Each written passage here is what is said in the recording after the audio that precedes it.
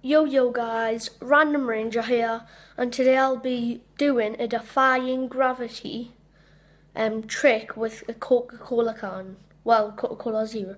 You can have Coca-Cola or Diet Coke, just a Coke can. Right, so this is it. Let's get in. So guys, um, this is the trick. You're meant to get Coca-Cola can, just open it. Mine's already open, right? So you would open it and you would um, empty out all of it and put in 150 milliliters, but I've just guessed.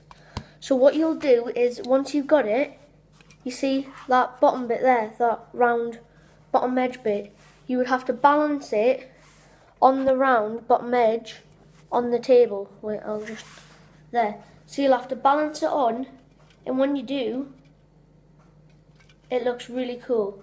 Just it's just hard to balance it at first, but once you've done it a couple of times, you'll and you get used to it. It looks really cool. Wait for it. Guys, I'm just gonna skip the video until I do it. Three, two, guys, I did it! Yes, oh my god. Right, so just, uh, I can't believe it went back off. No. Oh my god. Right, this has got to stay. Guys, I did it. Yes. It doesn't matter. I still did it. Yes. Right, so guys, I've got this cup here, and uh, I'm gonna flip it upside down. Just the camera to make it better. Right.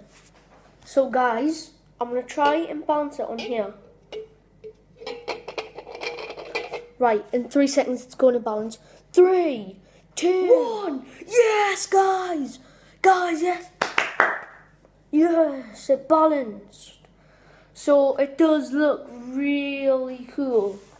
Like, let us just show you from a different angle. Guys, this looks so cool. Yes. Yes. Yes. Yes. There is no wires, nothing. It's possibly.